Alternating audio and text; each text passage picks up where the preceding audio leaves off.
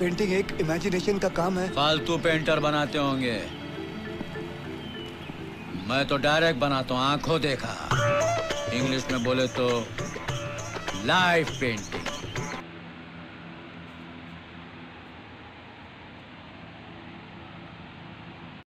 Likey